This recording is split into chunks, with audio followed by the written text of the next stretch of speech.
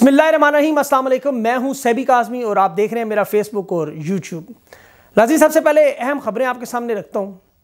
नवाज़ शरीफ साहब, लंदन से यूरोप की तरफ़ और फिर यूरोप से अमेरिका की तरफ़ फरार हो रहे हैं, पंछी उड़ रहा है। लेकिन मामला क्या है? क्या जवाबी कार्रवाई वहाँ से बैठ के करेंगे? इस फरार की वजह क्या है? और उसके साथ जो मुल्क से दो बड़ी शख्सियात भागने के लिए तैयार हैं, उनके जहाज़ इस वक्त स्टैंड बाय पोजीशन में ये कौन लोग हैं? इसकी मैं आपको थोड़ी तफसील बताता हूँ। इमरान खान के मौक़ की बड़ी जीत। इलेक्शन कमीशन ने अभी जो इजलास तलब कर लिया है, आम इंतबात की तैयारियाँ शुरू हो चुकी हैं। और पाकिस्तान का जो सबसे बड़ा मसला है, आर्मी चीफ की तैनाती, इसमें भी एक नया ट्विस्ट आया, एक मोड़ आया है।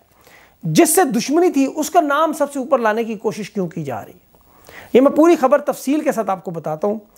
इम्पोर्टेड हुकूमत और उसके सहूलतकारों ने मेरे ऊपर भी एफ़ आई आर करवा दी। तफसील उसकी भी मैं आपको बता देता हूँ। सबसे पहले, देखिए, हम लोग हमेशा सुनते थे जी कि मुल्क बड़ी नाजुक सूरत हाल से गुजरा है। मेरी ज़िंदगी की पैंतालीस सालों में पहली मरतबा इन लोगों को नाजुक सूरत हाल में देख रहे हैं, जिनकी वजह से ये प्यारा वतन नाजुक सूरत हाल में था हमेशा कुदरत का कानून देखें मरीम नवाज़ साहबा का मैं दावा सुन रहा था कि हम इमरान खान को इबरत का निशान बनाएँगे। आज उनका ये चौथा मुल्क है जहाँ ये दर बदर हो रहे हैं, पाकिस्तान, सऊदिया, लंदन और अब यूरोप और फिर अमरीका। जिस तरह निकले हैं, पहले पाकिस्तान से निकले, डेढ़ सौ बक्से साथ थे। अब अरबों डॉलर के फ्लैट में से भी देखे, चमचे, खड़च्चे उठाकर इनके जो हवारी हैं, वो सब लोग भाग रहे हैं, क्योंकि मियाँ नवाज़ शरीफ पर जो इल्ज़ाम लगे, वो बेबुनियाद नहीं निकले, वरना नवाज़ शरीफ कभी भी तस्नीम हैदर पर इस तरह ना जाते, केस ज़रूर करते। शहबाज शरीफ ने डेली मेल पर किया, एयरपोर्ट पर फंस के वो अहमदाबाद तस्नीम हैदर शायद सच्चा है या नहीं, लेकिन मियाँ साहब बरतानिया में नहीं रह रहे, वो भाग रहे हैं, अमरीका और यूरोप की तरफ़। एक तो उनके घर के बाहर जो एहतजाज उससे वो बड़े तंग है। वो शायान अली जैसे नौजवानों ने इनका जीना हराम किया हुआ है। दूसरा, बरतानिया के कानून में इन्हें कोई फ़ायदा नहीं मिल सकता। वहाँ इनकी कोशिश थी कि क्लीन चिट लेंगे हम, लेकिन अभी तक फ़िलहाल मुश्किल है, क्योंकि जो शख्स इल्ज़ाम लगा रहा है, वो भी बरतानिया में ही बैठा है। अब उसके ऊपर केस करें, जिस तरह जुल्फ़ी बुखारी ने किया था रिहाम खान के ऊपर। नाक से लकीरें निकलवाईं, लेकिन ऐसा हुआ नहीं। अब शहबाज शरीफ को और इसहाक डार को भी मुल्क से बाहर भागने का हुक्म दिया है। बेशक सारे काम चलते रहे, लेकिन जहाज़ तैयार है। डॉन लीग स्कैंडल निकालने वाले साफ़ इसर मीडा ने यह बात की है कि नवाज़ शरीफ ने बाकायदा तौर पर शहबाज शरीफ और इसहाक डार को कहा कि आप दोनों मुल्क से फरार होने की तैयारी करें, क्योंकि अगले हफ़्ते तक हालात बुरी तरह बदले जा रहे हैं। जहाज़ तैयार हो आपका, बैग आपका रेडी हो, ताकि आपको निकलने में मुश्किल ना हो। अब सवाल यह है, क्या वाकई हालात इतने मामला इतने मुश्किल और ख़राब हो रहे उसकी दलील मैं आपको देता हूँ, श्रीलंका देख ले राजा पाक से। बरकीना फासो, वो अफ्रीकी मुल्क, वहाँ का पॉल हनरी, अफ़गानिस्तान का अशरफ गनी, बोलिविया का अबू मुरैलस और मंसूर हादी यमन का, ये सब एक लंबी लिस्ट है उन हुक्मरानों की, जो बिल्कुल इसी तरह भागे, इसी तरह के हालात में। इसी तरह ये आपको भागते हुए नज़र आएँगे, क्योंकि पाकिस्तान की तारीख की फैसला कन घड़ी आ गई अभी अवाम पर मुनसर है कि वो हुक्मरानी वापस लेते हैं, या स्क्रप्ट निज़ाम के इन लोगों को पाकिस्तान बम्भोड़ने के लिए आज़ाद छोड़ते हैं आमतौर पर देखें ना, मरा हुआ शख्स तो परवाह नहीं करता, उसकी कब्र से कोई कतबा चोरी कर ले, कब्र की कोई ईंटें ले जाए, कोई जंगला उतार के ले जाए, बकरियाँ उसकी कब्र पर ऊपर चढ़ रही हों। मैंने देखा खुद कुत्ते को पेशाब करते किसी की कब्र पर। लेकिन ज़िंदा लोग किसी के कूड़े क्रिकेट का एक बैग भी अपने घर के सामने नहीं फेंकने देते। आपको नहीं यकीन, कल कोशिश करें अपने पड़ोसी के दरवाजे के बाहर थोड़ा सा कूड़ा क्रिकेट फेंक कर देखें, वो दांत आपके हाथ में रख देगा अगर ज़िंदा हुआ तो। ये नहीं इस तरह होता, सिर्फ़ मुर्दा कौमें करती हैं। इंपोर्टेड हुकूमत ने यही किया, हमें ज़बरदस्ती इस हुकूमत में कहते हैं जी, जनरल बाजवा लाए। मलबा उन पर सारा डालने की कोशिश की। हाजी साहब ने जवाब में उनकी ऑडियो लीक्स करवा के सारा मलबा उन पर वापस डाल दिया। आज़म स्वाति के मामले पर इन्होंने हाजी साहब को ब्लैकमेल किया। उन्होंने परवेज़ रशीद की वीडियो निकाल के बार मारी। अरशद शरीफ के पोस्टमार्टम की रिपोर्ट इन्होंने मीडिया पर चलवा दी। प्रेस कॉन्फ्रेंस की धजियाँ बखेर दी उनकी। जवाब में उन्होंने क्या किया? कि इनके साथियों की और सहाफ़ियों की मदद से अरशद शरीफ के कत्ल की प्लानिंग का जिम्मेदार इन्हें ठहराकर दोबारा कटहरे में ले आए। अब इन्होंने क्या किया? जनरल बाजवा की सारी मालूम ख़ानदान समेत लीक करवा दी और ख़ुद यूरोप, अमरीका भागने का फैसला। अब वहाँ से करेंगे एक और बड़ी जवाबी कार्रवाई। इस वक्त इनके दो ग्रुप बने हुए हैं। मैं आपको बताता हूँ, और इनका एक दूसरे का हाथ एक दूसरे के गिरबान में है। गंदे राज इनके निकालने को ये बेताब है। अच्छा मजीद में आगे से बढ़ने से पहले कुछ लोगों को ज़ाहिर खुशी भी होगी। चले जी कहते थे जी सैबिक आज़मी को कुछ नहीं कहते ये पता नहीं उनका बंदा है। एफ़ आई आर मेरे ऊपर भी होगी। हालाँकि मैंने सियाहत से लेकर तजारत तक पाकिस्तान का रोशन चेहरा दुनिया में दिखाया। सारी मेरी वीडियोस की गवाह है। कालक धोने की कोशिश की धक्के खाए बड़े हर एक की बातें भी सुनी। और एहसान नहीं किया किसी पर पाकिस्तान का कर्ज है। अप, अपने लिए किया अपने दिल के लिए किया। अब ये गद्दारी का सर्टिफिकेट ये एफ़ आर देखें, ना तो इनसे डर लगता है ये मैं वीडियो पे ऑन रिकॉर्ड करना इनकी मार से, ना नंगा होने से ना मुझे कोई हीरो बनने का शौक है। लेकिन बाखुदा मैं इनसे नहीं डरता, अल्लाह जानता है। मेरे दिल में कोई डर नहीं है, बिल्कुल किसी किस्म का। दिल में जो आएगा वही करेंगे। किसी के साथ कोई ज़ाती लड़ाई, ना कोई एंटी फौज है, ना, फौज से मोहब्बत है खुदा की कसम। ना इनसे हमने अपनी गलियाँ पक्की करवाने, ना नलके लगवाने नौकरियाँ लगवानी। है होना तो ये तहकीकात इस बात पे करते कि जनरल बाजवा साहब के बच्चों की जो अरबों की जायदादें बनी, इनकी रसीदें कहाँ हैं? इन्होंने तहकीकात किस बात पे शुरू कर दी कि ये एफ़ बी आर से डाटा कैसे निकला? इस पर कौन सहाफ़ी क्या बात कर रहा है? दुनिया में क्या हो रहा है? किसको रोके, किसको पकड़ें? और मरीम नवाज़ ने इनके मुँह पर कहा था कि फ़र्द वाहिद जो है मुकदस नहीं है, इदारा मुकदस है। हम लोग एंटी फौज है ही नहीं है, पाकिस्तान फौज हमारे दिल में बसती है। ये ठीक काम करेंगे, हम के गीत गाएँगे उनके लिए। अल्लाह जान, अल्लाह करे, ठीक काम करे। लेकिन जब तक ये प्रॉपर्टी डीलर और सियासी दलाल इकट्ठे रहेंगे तो ये फिर चकला ही बनेगा, मुल्क तो नहीं बन सकता। और मेरा तो दुख ये है, कतर चीन के दरमियान गैस सप्लाई का तारीखी मुआदा देखता हूँ, सत्ताईस साल में चार मिलियन टन एलएनजी जो सालाना जाएगी, और मेरे पाकिस्तानी सुबह दोपहर शाम दवाई की तरह सुई गैस इस्तेमाल करेंगे। दुख तो ये है ना कि डिफॉल्टर हो गए, चौरानवे फ़ीसद रिस्क हो चुका है, और आज से आठ महीने पहले पाँच फ़ीसद थे। फॉरेन डायरेक्ट इन्वेस्टमेंट पिछले साल दो सौ सैंतालीस मिलियन डॉलर, इस साल चौरानवे मिलियन डॉलर। करंट अकाउंट खसारा आप एक्सपोर्ट में से करें, माइनस इंपोर्ट और बाकी फॉरन रिमिटेंस ऐड कर दें। बैरून मुल्क की। तो पिछले साल बावन मिलियन इस साल चौंसठ मिलियन कम हो गया खसारा। सॉरी खसारा ज़्यादा हो गया। पिछले साल देखें और इस साल में आप देखें, मनफी आपकी जी डी पी चलेगी। ज़रात से लेकर इंडस्ट्रीज़ तक सब कुछ तबाह बर्बाद। मीशत को आसान अल्फाज में इन्होंने हलाला करवाने के लिए जो शख्स चुना वो नाबीना निकला और वो फिर इस इकॉनमी पर ऐसे टूट पड़ा जैसे ये फातह फ़ौज मफतू इलाके की खातन की, माल गनीमत की तरह पड़ती है। बातें मेरी बड़ी सख्त है, लेकिन होंगी, क्योंकि जब आपका दिल चलता है तो ज़ुबान अंगारे निकालती है। ये हाजी साहब एक तो एक तरफ़ है हाजियानी साहिबा को देखें। फुल स्टेटमेंट देखें उनकी। 2015 में ना उनके पास इनकम थी, ना माल था, ना टैक्स पेयर थी। और 2016 में ढोल सपाइया थानेदार से बना लेफ़्ट ने तो दरख्तों में जैसे उगाया सारा कुछ। प्रॉपर्टी का काम शुरू हुआ दड़ा दड़ प्रॉपर्टी डीलर तहाइफ की बरसात स्पीड पंजाब स्पीड साढ़े छः करोड़ के एसेट्स 2021 में अट्ठतीस चौंतीस करोड़ के। छोटी सी मिसाल सुन लें, वो फ़िल्म अभी एक आई है, मोला जाट। उस बंदे ने, मैंने तकरीबन नौ साल काम किया है, बड़ी मेहनत की, सारी ज़िंदगी जमा पूंजी लगाई, फ़िल्म में मेहनत की, सारा कुछ। पूरी दुनिया में सुपर हिट, मैं यहाँ हिंदुओं, नेपालियों से सुन सुन के बातें, हिंदुस्तान के लोगों से, हर जगह से, बड़ी तारीफ़ सुनी। देखी नहीं मैंने, उस फ़िल्म ने कमाया कितना है? 200 करोड़, दो अरब। पूरी दुनिया में मशहूर। और इधर हमारे हजियानी साहिबा के घर बैठे बिठाए छः साल में पाँच अरब। और ढोल छपाई अपने बारह शरिया सात अरब को बचाने के लिए पूरे पाकिस्तान का बेड़ा कर कर गया। और ये दुनिया का वाहिद मुल्क है। मैंने बड़ी रिसर्च की कि शायद कोई ये कदम निकल है कि अफ्रीका का नहीं।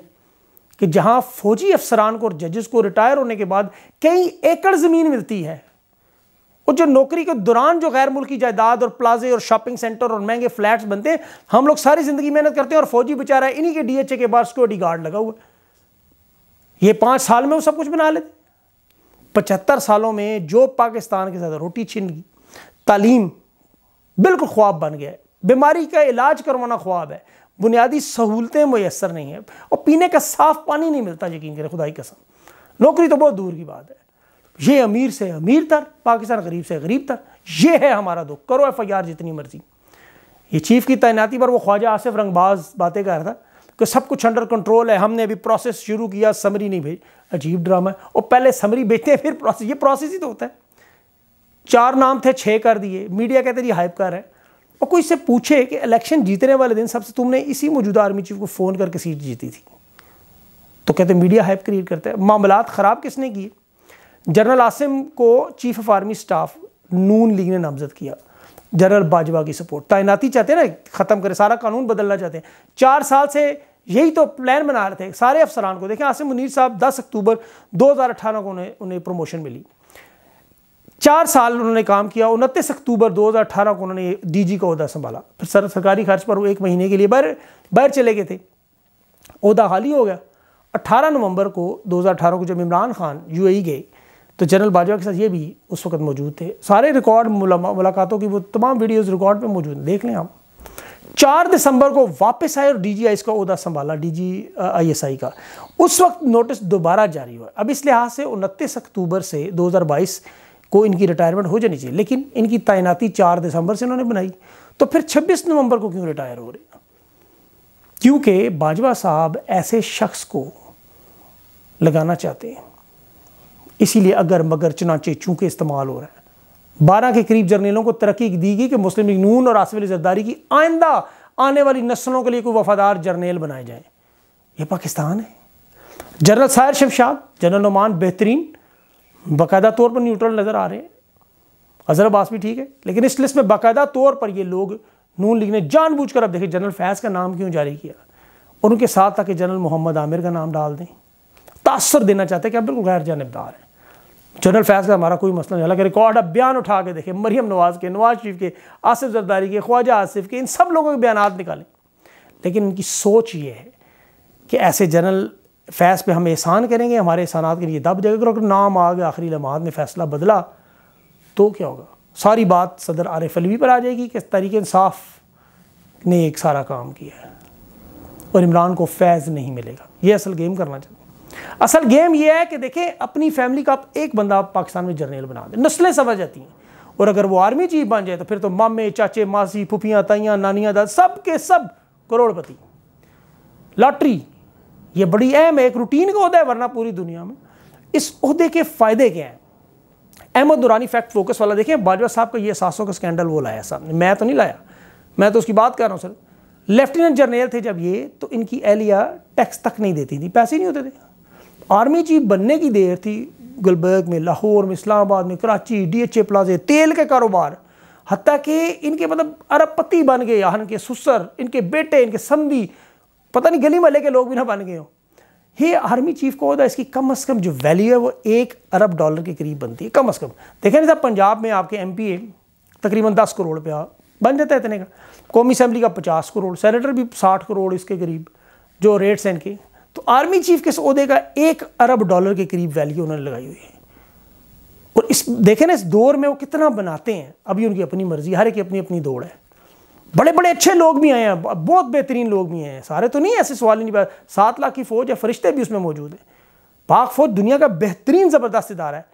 लेकिन इन्होंने जो अरबों का खेल ऊपर शुरू किया, नीचे कोई मसला नहीं है, नीचे बड़े गरीब लोग, सब मेहनती। इन्होंने इकॉनमी और मीशत को सिर्फ़ तबाह नहीं किया। कहते जी करप्शन को मसला नहीं और सबसे बड़ा मसला ही करप्शन निकला। सिक्योरिटी के हालात देख लें उसकी वजह से। आपको पता है पाकिस्तान के लोगों को पिछले दो दिन से कुरम बॉर्डर पर पाक अफगान फोर्सेस के दरमियान, अफगान फोर्सेस के शदीद लड़ाई जारी है। वहाँ अभी मैंने शायद बताया भी था आपको स्पिन बोलदक पर जो अफगान एहलकार ने किस तरह धोखे से पाकिस्तानी एहलकारों को हमारे शेर जवान शहीद कर दिया। शदीद ज़ख्मी भी किया एक और वो भाग गया वो। वो पकड़ने की कोशिश की, जिरगे हुए, खोला, बंद किया बॉर्डर चलता रहा। लेकिन लोग, मसला इसमें क्या, अवाम बिल्कुल ला तल्लुक है। किसी के, लोगों ने सुनी नहीं खबर बिल्कुल। जहाँ पर एक पाकिस्तान मुखालिफ बयान होता था, पूरे पाकिस्तान की तरफ़ से, दिनों तक ट्विटर भरा रहता और सख्त तरीन रद्द अमल था। अब सरहद पर ये लगी हुई झड़पें चल रही हैं। पाकिस्तानी एहलकारों पर बुजदिलाना हमले हो रहे हैं, हमारे शेर जवानों पर। लेकिन पाकिस्तान की अवाम बिल्कुल अनजान ऐसे ताल्लुक से रास्ता, वास्ता ही नहीं जैसे टॉपिक से। क्यों हुआ ऐसे? क्यों नहीं शोर मचता इन चीज़ों पे अब? इस मामले पर शोर मचाने वालों पर ये एफ़ आई आरें कर रहे हैं। लाताल्लुक क्यों नज़र आ रहे हैं? जिन्होंने फिफ्थ जनरेशन वार हम लड़ने की कोशिश करते रहे, हमने सिक्स भी लड़नी थी, इन्होंने सेक्स जनरेशन बना दी अब। इन्होंने पचहत्तर पचहत्तर साल के बुज़ुर्गों को, नाना दादा को नंगा करना शुरू कर दिया, करंट लगाने शुरू कर दिए, उनको जेलों में डालना शुरू कर दिया, मारना शुरू कर दिया, अगवा करना शुरू कर दिया, मोहित पीरजादा भी लंदन भागे, जान बचा गए। वो अभी देख ले, सारे लोग इसी तरह क्यों भाई? क्या जुल्म किया है? क्या ऐसा कह कह दिया? आप मुकदस गए हैं, आपके बारे में बात नहीं कर सकता बंदा। एफ़ बी आर का रिकॉर्ड नहीं दे सकते, क्यों नहीं दे सकते? वजी अजम का जाकर रिकॉर्ड लेना, जिस दुनिया के वजी अजम का मिल जाता है आपको फ्रीडम ऑफ़ इंफॉर्मेशन एक्ट इनके जी एफ़ बी आर का डाटा आप नहीं निकाल सकते। क्यों? वो निकाल लिया अगले, उसको कह रहे हैं जिसको राह ने दिया है। वो कहता है, राह फिर अंदर घुसी हुई है शायद आपके। इतनी ज़्यादा कि वहाँ से निकाल के दे रही है आपको। आपके अंदर बैठे हैं वो लोग क्या? उन्हें ढूंढें। इन लोगों ने अपना ड्रामा शुरू किया हुआ असल मामला सिर्फ़ सादा सा है। साफ़ साफ़ प्रोसेस हो नीट एंड क्लीन सबके सामने नज़र आए, रोज़ नया डगोसला, रोज़ छः नाम, रोज़ चार नाम, खुद कंट्रोवर्शियल कर रहे हैं ना इसको। रोज़ नहीं कोई वारदात ना करें सीधे साधे तरीके से करें इलेक्शन अनाउंस करें। अब निगरान हुकूमत इमरान खान के लिए जी, वो पाँच महीने के लिए। दुनिया में कहाँ होता है? बार इंशाल्लाह अगली वीडियो में मैं तफसील से और मज़ीद कुछ बातें आपके सामने रखता हूँ। अपना खास ख्याल रखें। मुझे अगली वीडियो तक के लिए इजाज़त दें। अल्लाह हाफिज़।